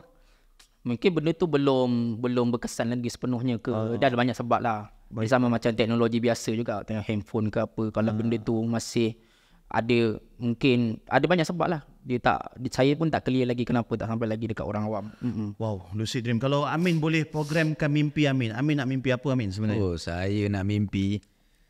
Tak tahulah. Banyak sangat impian saya. Kau apa KJ di sini kau sebab lah saya mimpi untuk KJ jadi PM. Apalah kau ni? Aku bagi mula tanggung dah. Kau smash je lah. Okay. Dari sini eh? Oh ya, lama minta maaf. baik, baik, baik. Okey, tuan-tuan okay. puan kita sebenarnya dah Dah uh, dah? kurang lebih satu jam. Kita nak pergi kepada Q&A session sebab okay. kita nak tuan-tuan perempuan berinteraksi dengan Dr. Zamir ataupun mungkin dengan Pio Amir sendiri uh, berkaitan tentang isu semata, semasa, falsafah dan juga sains. Tapi mungkin soalan terakhir daripada Amin dan juga soalan terakhir daripada Okey. saya sebelum kita tutup sesi kita. Dia pasal sains lagi lah kan. Dia uh, kita dah tanya soalan ni tapi benda ni memang masyarakat minat. Okey. Sebab crowd kita ni dekat geng-geng geng-geng uh, masjid-masjid surau ni dia jarang dapat perbincangan macam ni. Mm-hmm. Uh, tentang dijavu. Kita dah bincang sebelum ni. Mm-hmm. Uh, tentang macam mana apa ni kita punya akal kita ataupun cara kita lebih awal daripada apa yang kita sangkakan begitulah. Mm-hmm. Cuma hari ni uh, dijavu yang yang yang selalu orang orang selalu cakap uh, satu benda yang memang dah memang betul-betul berlaku dan hari ni bila dia lalui jalan dia lalui kehidupan dia tu dia nampak balik apa yang pernah berlaku dalam pemikiran dia sama ada dalam mimpi ke ataupun dalam gambaran yang pernah berlaku sebelum ni kita nak kontrol javu macam mana Wow. Oh, Kontrol dia javu eh. setakat saya tahu tak boleh lagi buat benda tu. Aha. Itu sat, it, bagi saya benda tu dah terlalu jauh sebab uh, sebab utamanya adalah deja vu ni adalah benda yang kita masih belum tahu lagi sebabnya kenapa benda tu terjadi. Kita mungkin tahu bagaimana benda tu terjadi tapi kita tak tahu kenapa benda tu terjadi. Dan benda tu menyebabkan kita susah nak kontrol deja vu dan susah untuk kita kaji deja vu tu. Sebab kita bila nak kaji sesuatu ni kita kena kaji sesuatu yang boleh kita boleh kontrol. Kan? Hmm. Contohnya kalau macam mimpi kita tahu lah okey mimpi terjadi apabila kita tidur. Mm-hmm. Kan at least mim- dia mimpi ke tak mimpi tu cerita lain tapi kita tahu benda tu terjadi lepas tidur. Dia japu kita tak tahu benda tu terjadi bila. Baik. Kan? Bila kita tak boleh nak kontrol dia jabut, ah, kita tak boleh tahu kenapa dan apa nama bila benda tu terjadi. Jadi kita tak ada kuasa lagi untuk kawal deja vu tu in the future. Saya tak tahu in the future tu bila lagi untuk kita boleh kawal. Mhm. Hmm. Soalan terakhir pada saya, Dr. Zamir. Semua orang suka bercakap tentang uh, prediction, prophecies ataupun ramalan. Sebab kita memang sangat seronok bila ada ramalan yang termakbul ataupun berlaku. Bahkan dalam hadis Nabi pun uh, berkaitan tentang ramalan Konstantinopel akan ditakluk. Maka seluruh tamadun Osmaniyah berusaha untuk menakluk uh, uh, apa nama Istanbul ataupun Konstantinopel. Ada tak uh, ramalan-ramalan sains yang bakal mungkin Dr. Zamir nampak 10, 20 atau mungkin 100 tahun dia menuju kepada dimakbulkan ataupun terjadi pada pembacaan Dr. Zamir sebab macam tadi kita bincang pada awal uh, tahun 1915 1920 uh, Albert Einstein Sir Albert Einstein nampak berkaitan tentang uh, dark hole ataupun wormhole ada tak prediction belum berlaku tapi Dr. Zamir kata macam boleh berlaku ni Ya. Yeah. uh-huh. ada tak Uh, setakat ni setakat setahu saya ramalan tu ada dalam contohnya macam white hole ke white hole. White hole ni apa pula? Tadi hitam putih pula. Hmm. dia putih dia putih sebab bukan sebab warna dia warna putih. Oh bukan? Kan? Dia sebab dia punya sifat dia terbalik dengan black hole tu. Okey kalau black hole untuk masuk. Masuk. Ah, white hole untuk white keluar. hole dia tak boleh keluar. Eh tak boleh masuk. Dia tak boleh masuk. Ah dia bukan untuk keluar dia memang tak boleh masuk. Okey. White hole tu ada tapi tak boleh masuk dalam dimensi tu. Ah, Saya rasa orang saya tu. rasa orang sains kena belajar bagi nama. Lepas bagilah close hole. tak boleh masuk. Okay, white hole tak boleh masuk lah. Okey okey. tak boleh masuk lah Okey, white itu hole. benda yang ataupun apa ni wormhole ke itu benda yang Prediction lah. uh, prediction lepas tu apa nama saya pun tak saya tak begitu arif sangat sebab dia dia, dia bahagian bahagian teori sebenarnya Teori Ah, okey bahagian tactical. ah, dia theoretical yang uh, ataupun teori tetangsi ke teori tetangsi ni dia kata macam apa nama tu ada banyak alam semesta selain daripada kita dan sebagainya. okey. Ya, ya, ya, Bagi ya. saya yang mungkin yang paling dekat ni adalah saya tak tak katalah nak paling dekat pun tapi rasa macam ramai orang dah menuju ke arah tu kan. Antaranya uh, theory of every theory of everything ni pun mas dia terlalu gas sangat lah maksudnya tapi itu adalah uh, gabungan teori relativity dan quantum mechanics uh, yang mana bila saintis dapat tahu macam mana bila saintis dapat gabungan teori relativity dengan teori quantum dia macam seolah-olah dia dapat kunci alam semesta untuk tahu banyak rahsia tentang alam semesta wow. lah. Theory Sebab- of everything. Hmm. Dia namanya theory of everything tapi saya pun tak berapa setuju dengan nama tu sebab ia lebih kepada sebab teori of theory of everything dia cuma merujuk kepada lebih kurang 4 hingga 50% alam semesta je. Wow. Benda-benda lain tu kita tak tahu lagi. Saya tak tahu lagi. Ah. Itu antara yang saya rasa macam dekat lah tapi tak tahulah boleh jadi ke tak boleh jadi. Dia Ramli Sarip pernah sebut dia dekat tapi jauh. Kita tak tahu lagi. Tapi benda tu lah ada antara prediction yang. Ah, antara okay. prediction. Okay, Amin saya Okey, rasa saya okey, kita nak teruskan pada soalan ataupun saya terus melontarkan soalan? dia kena close dulu Kesian kan. Dr. Dr. Zamir. Sorry sorry nak tahu pada ni dia kena close dulu baru Q&A ke macam mana? Baca dia. Boleh teruskan. Okey. Terus je. Kita terus pada Q&A kalau ada sahabat-sahabat audiens kita nak bertanya tentang apa-apa teori, okey, adik kita adik handsome boy, silakan bangun. Jom. Perlukan mic ke? Ya. Boleh baca lagi tak? Ah, terus. Right. Um, terima kasih banyak. Baik, nama siapa tu, Dik? Nama saya Mujahid. Um, okay. Saya sebenarnya Oh. membesar dalam uh, era Harun Yahya, buku Harun Oh. Yahya. Uh, kemudian Dr. Da- uh, Dr. Daniel Sana Abidin dia Okay. keluarkan buku Al-Quran dan Sains kan. Jadi saya memang minat pasal benda-benda Al-Quran dan Sains ni daripada dulu lah. Baik. Tapi kemudian saya belajar pasal Bukilism, uh, idea di mana um, uh, pencampuran antara agama dan sains dan menggunakan sains untuk mem- mengabsahkan agama kan. Baik. Dan itu ialah apa yang Dr. Zamir cuba nak uh, cakap di sini ialah uh, benda tu tak sepatutnya lah. Okey. Tapi saya nak cuba challenge sikit je idea tu dan nak tengok kalau uh, ada response to that lah. Um, saya rujuk uh, artikel daripada Dr. Datuk Dr. Zainal Abidin um, uh, di uh, di mana dia sebut satu ayat Quran ni um, surah uh, Fusilat ayat 53 Baik. um, akan kami tunjukkan kepada mereka bukti-bukti kebenaran kami di segenap ufuk penjuru alam dan pada diri mereka sendiri sehingga jelas pada mereka bahawa Al-Quran itu benar. Jadi tafsiran dia kat sini um, saya baca je lah. Saya bukan beli tafsir pun tapi Ibn Ibn bin Kasir cakap Ya. um, ayat ini bermaksud kami iaitu Allah akan menunjukkan bukti secara hujah yang akan menampakkan kebenaran Al-Quran dan bukti yang akan ditunjukkan itu merupakan bukti-bukti luaran. Jadi um, apa yang saya faham daripada ayat ni dan Baik. mungkin Piu boleh um, tambah lagi um, ialah ada ada keperluan dia juga. Hmm. Kiranya macam ada angle yang kita boleh nampak di mana um, apabila kita nampak yang you know sains mengatakan sesuatu benda dan Al-Quran um, nampak macam selari dengan perkara tersebut Sains tu, ya. itu boleh jadi macam asbab untuk kononnya meningkatkan iman ataupun meningkatkan Semestinya. kepercayaan. Okey. Tapi juga saya faham point Dr. Zamir tadi macam okay, sains ni berubah-ubah kan. Saya pun student sains juga, saya faham uh, apa uh, kaedah saintifik tu memang sifatnya berubah-ubah dan sifatnya ialah hipotesis. Um, jadi macam mana saya nak reconcile idea tu sebab um, dalam dalam apa sudut sini uh, di mana apa kiranya expert dalam agamawan cakap Itu adalah tanda. itu adalah tanda dan kita kita boleh gunakan sains untuk kaitkan dengan agama tapi um, at the same time saya pun macam uh, mungkin agamawan tak faham sains uh, in the same definition as seorang saintis faham Okay. sains. Faham. Jadi macam mana nak reconcile Alright. idea? Terima kasih. Tolong tepuk tangan untuk kawan kita. Terima kasih. Kita bagi Dr. Zamir dulu. Dr. Zamir terus respon boleh? Okey, baik. Bila kita saya faham ayat tu adalah lebih kepada uh, suruhan untuk tengok alam, kaji alam dan kita rasa kebesaran alam tu sendiri. Ya. Saya nampak dekat situ lah. Maksudnya macam saya ataupun saintis-saintis lain bila dia buat kerja, setelah dia jumpa satu penemuan, dia rasa kagum. Oh, ini inilah sebenarnya kuasa Allah Subhanahu Wa Taala. Kita rasa macam tu. Kita tak sentuh pun ayat-ayat tertentu. Contohnya misalnya uh, contohlah pada tahun 1927 orang Islam gagaskan uh, teori Big Bang.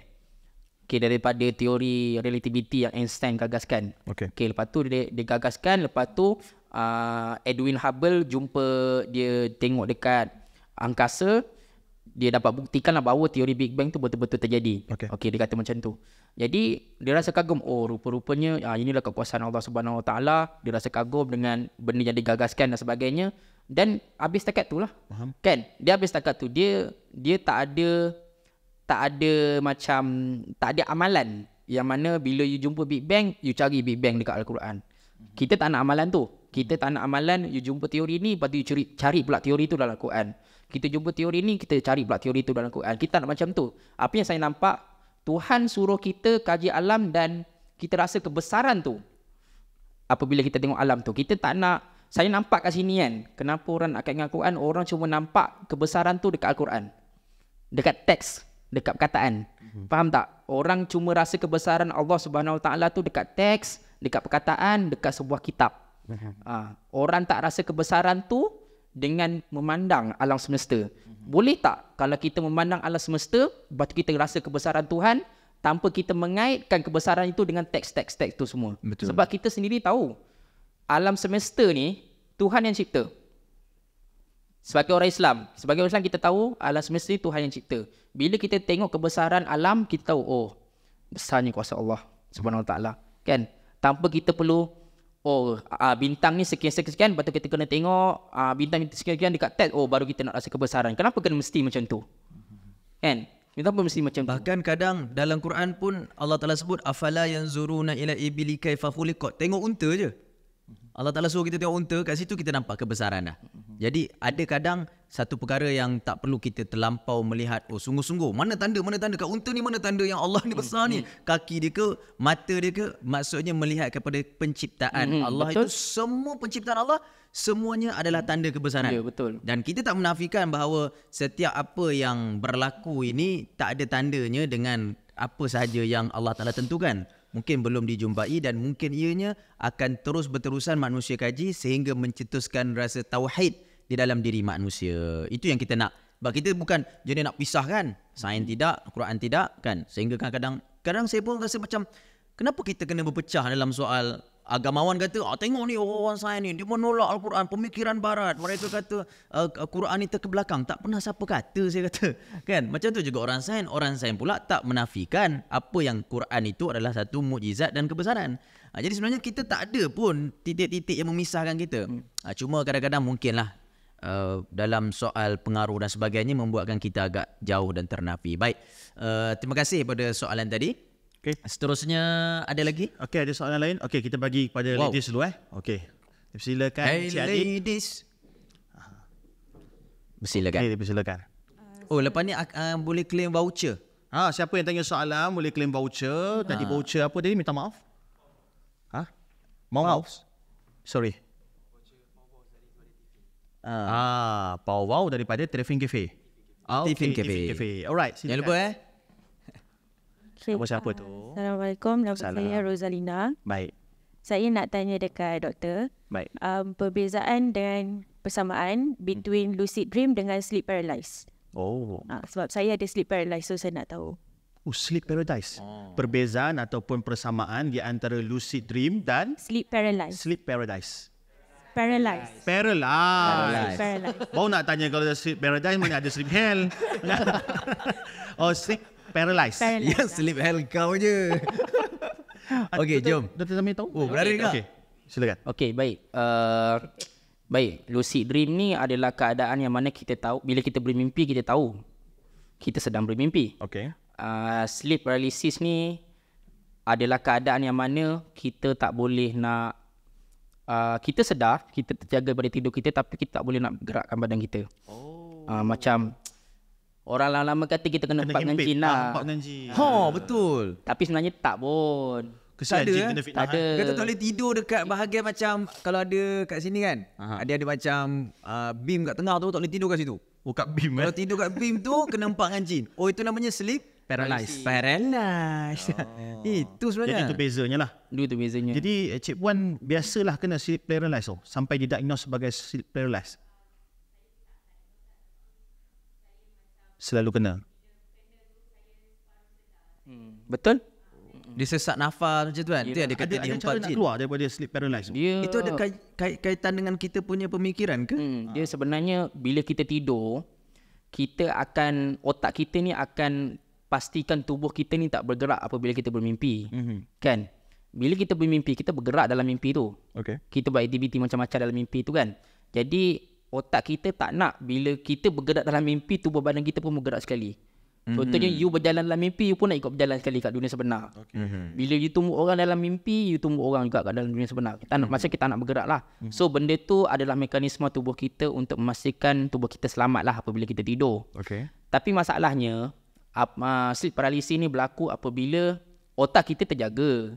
Tetapi fasa REM anato- atonia tu, REM atonia tu adalah keadaan yang mana tubuh badan kita paralyzed sekejap lah. Mm-hmm. Kan? Kita ter, otak kita terjaga tapi tubuh kita masih dalam fasa tidur. Mm. Uh, dia macam belum terjaga sepenuhnya lah. Okay. Otak dah sedar, dah, dah bangun tapi apa nama tu tubuh kita belum bangun lagi. Tapi kita rasa macam tak boleh nak bergerak. Dia boleh sampai sekritikal mana? Boleh bau maut ke ataupun tak ada dia sekata Tak. gitu? sepaham saya tak sampai bawa maut tapi memang ada orang rasa sesak nafas dan sebagainya itu memang ada jugalah Baik, baik, Ah, baik. ada kes macam tu Itu boleh dikira sebagai satu penyakit ataupun tidak? saya rasa bu yang ni saya tak tahu Tak tahu. Mm-mm. Tak apa apa pun kita Wallahu harapkan dapat sweet dream lah lepas ni, eh? Bukan lagi sleep paralysis, dapat sleep paradise. Ah. Okey, baik ada soalan pada abang kita tadi, ya bang. Okey, abang abang gym kita ni, baik. Okey. Ambil mic. Okey. Saya tak pasti berapa voucher yang ada. Assalamualaikum warahmatullahi wabarakatuh. Uh, selamat petang. Uh, nama saya Fauzi dari Bangi. Fauzi bagi. Okey, uh, saya ada dua soalan. Satu untuk Dr. Zamil lah. Okey, pertamanya mungkin soalan ni agak lucu sikit sebab saya tengok Bobo Boy. Okey. dia berkaitan dengan Tak apa, tak teleportasi. Apa dia? Ah, teleportasi. Teleportasi, ya. Teleportation uh, technology. Okey. Okey, uh, adakah is it uh, dia akan kita boleh capai teknologi tersebut pada masa-masa yang akan datang ataupun memang mustahil terus? Okey, that's the first question. Uh, soalan yang kedua adalah berkaitan dengan macam ada orang ni kalau macam kita nak berikan sesuatu berkenaan dengan agama, mereka mesti nak carikan logik juga. Sebagai contoh kan, uh, kenapa ha, babi itu halal, uh, babi itu haram? Sorry. kenapa babi itu diharamkan oleh agama? Okey. Tapi mungkin ada ada yang akan bagi penjelasan secara saintifik yang mengatakan bahawa babi ini sebab ada banyak parasite okay. dan sebagainya. Tapi bagi saya benda tu bukan disebabkan oleh adanya parasite tapi disebabkan oleh itu yang Allah suruh sebenarnya. Mm-hmm. Betul. Baik. Okey. Tapi Nama, nama apa ni? Nama apa? Fauzi. Okey, PU Fauzi betul. Okey, ah sebab kemungkinan ah in the near future contohnya kalau macam ada parasite dekat dalam daging babi itu boleh dibuang, hmm. adakah sifat halal ah, haram itu dah jadi halal? Faham? Ah so macam mana kita nak tekankan berkenaan, ah, berkenaan dengan kita buat benda ni sebab Allah suruh jangan cari logik disebabkan oleh benda yang Faham. diberikan itu. Okey. Ya, betul. saja. Dua soalan. Seumpama arak lah. Mm-hmm. Kan? Walaupun dihilangkan sifat mabuknya mm. ataupun sifat yang boleh memabukkan, ianya tetap dikirakan sebagai haram dalam agama. Itu kepercayaan kita. Saya nak tambah uh, tidak salah mencari logik dalam pengharaman ataupun do and don'ts dalam agama. Tak salah bagi saya. Cuma sampai kita menjadikan ia dalil ataupun mencarikan menjadikan ia sebagai memaksa benda tu dalam agama, ia sama balik kepada isu sains dan juga teks Al-Quran. So sama kita sebenarnya ia jadikan ia jadikan kita punya pedoman tapi bukan menjadi panduan. Pedoman ni maksudnya kita boleh jadikan sebagai kita punya semangat, sebagai kita punya kita punya apa nama kita punya uh, uh, semangat lah semangat untuk memahami agama ni tapi tidak menjadi panutan ataupun pedoman yang menjadikan benda itu adalah uh, satu arahan kenapa uh, pengharaman tu. Sebab agama ni uh, agama ni faith. Uh, dia, dia adalah keyakinan. Bila kata-kata keyakinan dia perlu datang dengan tanpa negosiasi. Kalau kita kata logik, kita kentut dekat punggung tapi ambil wuduk kat muka. Kan? Jadi logik ni di mana? Maka kat sinilah bila bila sebut pasal agama, dia datang perlu apa? Perlu datang sami'na wa ata'na. Kita perlu dengar dan patuh sebab Allah lebih tahu tentang apa yang dibincangkan tentang agama. Baulah piu. Baru piu. Mana kopiah? Okey, tadi berkaitan tentang Okey, soalan teleportasi. Teleportasi. Wah, saya memang minat teleportasi Bobo ni. Kalaulah boleh. Kan, Bobo boy kuasa? buka-buka terus sampai rumah. Tak payah lalu jam. Apa dia cerita? Okey baik uh, teleportation ni dia sebenarnya Macam Harry tek- Potter, Harry Potter. Ah, Dia langgar bom, dia masuk tempat lain eh. teleportation ni dia sebenarnya teknologi tu dah ada. Alright. Cuma kita mampu berupaya teleport zarah je lah sebab kita perlu kuantumkan zarah tu untuk berlakunya teleportation. Mm-hmm. Tapi tel- sebenarnya teleportation yang ada ni dia bukan teleportation yang kita faham lah dekat dalam movie ataupun anime dan sebagainya. Faham? Tapi dia memerlukan uh, saya tak reti sebenarnya nak explain ni sebab terlalu rumit. Aha. Cuma dia kena dikuantumkan lepas tu kena ada objek dekat sana dulu. Baik. Lepas tu baru dia boleh teleport. Okay? Dia tak boleh teleport kalau tak ada apa-apa dekat sana lah. Maksudnya kena ada dua pintu lah. Pintu yang masuk, pi- eh, pintu keluar, pintu masuk. Hmm, lebih kurang lah. dua kuantum yang berbeza lah. Mm-mm. So kena kuantumkan zarah tu dan baru dia boleh teleport. Tapi apa nama tu Kuant- nak mengkuantumkan sesuatu tu dia tidak boleh ada dia untuk sesuatu tu jadi kuantum dia tak boleh ada apa-apa yang mengganggu keadaan tu. Kuantum ni apa Dr. Zamir? Sebab ada quantum metal Dr. Zamir. Aduh. Ku- Kuantum ni apa sebenarnya? Semua orang pakai kuantum sekarang. Okay, Quantum metal, eh? Kuantum ni dia lebih kepada uh, ben, objek yang kecil lah. Zarah, sub zarah dan sebagainya. Mhm. Jadi bila kita cakap quantum state tu adalah uh, keadaan kuantum. Keadaan kuantum ni macam yang mana zarah tu dia boleh berada dekat banyak tempat dalam masa serentak. Boleh berada dalam dua keadaan serentak. Maksudnya dia boleh jadi zarah dengan partikel dalam keadaan serentak. So kuantum lebih kecil daripada zarah. Sub zarah lah. Sub zarah. Hmm, dia sub zarah Lebih macam lah. elektron ah, elektron. Oh, patut tak ada tak Ah, jumpa emas wah, tu sebab dia sebagainya. kecil sangat. Lepas tu dia untuk dia berada dalam keadaan kuantum ni dia tak boleh ada orang tengok, tak manusia tak boleh tengok, cahaya tak boleh langgar apa sebagainya. Okey, Dia very difficult lah. Dia Jadi berbeza lah. Te- uh, teleportasi dengan uh, wormhole ni kedua-dua Tak sama. saluran yang berbeza. tak sama. Jadi adakah in the future kita boleh buat benda tu apa yang saya nampak mungkin boleh tapi mungkin baik masa dalam seribu tahun ke, dua ribu tahun ke. Wow. Untuk sampai Saya rasa tu. dia macam ada implication tau. Contohnya kalau macam kita teleport diri kita kan. Contoh badan kita berderai, atom by atom. Lepas tu dipasang balik. dia pasang balik adakah tu diri kita yang sama ke? Wow. Mungkin berlainan lah. Tangan tadi masa, masa masuk tangan lain, masa keluar tangan lain pula kan. Boleh jadi macam tu. Tapi macam nak So, bezakan tangan kiri dengan tangan kanan? Dr. Tangan kiri ada tulis L left, tangan kanan ada tulis R right. Saya gurau okey. Okey, baik. Jawatan kuasa penganjur uh, dah bagi kita cue untuk Betul. berhenti. Dah jauh sangat Dah dah jauh kita sangat. Dah Biasa, jauh sangat. biasa topik macam ni kedai mamak lah tuan-tuan eh. kedai mamak. Dia kalau orang lelaki cerita sini lah bulan. Nah, kita Kan? kita Ah, orang lepak kedai mamak tak bincang benda-benda kecil-kecil. Tak kan? ada lah cerita pasal lipstick apa pakai tak ada lah. Wah, awak berani eh. Okey, baik. Terima kasih kepada semua. Boleh tak kita tepuk tangan untuk semua yang hadir pada hari ini. Tahniah. Alhamdulillah. Program yang sukses dan Amin, kata-kata terakhir. Kata-kata akhir saya terkejut sebab saya ingat kita dengan kamera je sekali ada orang ramai eh. Saya pun seronok jugalah syukur sama-sama Alhamdulillah terima kasih kepada KL Podfest sebab sudi bagi ruang kat kami kami tak sampai setahun lagi tapi saya rasa inilah pencapaian uh, Minmat Podcast mm-hmm. yang boleh sampai ke KL Podfest dan berkongsi mak- ma- maklumat dan juga informasi pada anda sebab ini kita nak cari crowd berbeza lah sebelum ni kami kat masjid surau ceramah-ceramah jadi kita nak cuba jalan yang beza kita cabar diri kita untuk bawa cerita-cerita macam ni Alhamdulillah terima kasih semua InsyaAllah moga-moga kita dapat ramaikan lagi orang yang boleh mengeluarkan cerita-cerita yang lebih berinformasi pada masyarakat Okey, insyaAllah jumpa lagi. Ila liqa. Kalau tak jumpa dekat dunia, kita jumpa kat syurga. Amin. InsyaAllah. Amin, ya Rabbal Okey, kita tutup majlis dengan tasbih kafarah dan. Subhanakallahumma wa bihamdika astaghfiruka wa atubu Kita doa sikit Bismillahirrahmanirrahim Allahumma inna nas'aluka ilman nafi'an wa rizqan tayyiban wa amalan mutaqabbala Amin. Allahumma ighfir lana warhamna wa tub alaina اللهم بارك لنا في رجب وشعبان وبلغنا رمضان وصلى سيدنا محمد وعلى اله وصحبه وبارك وسلم والحمد لله العالمين تقبل الله منا ومنكم Ya. Nah, kita kabar Terima kasih Dr. Zamir.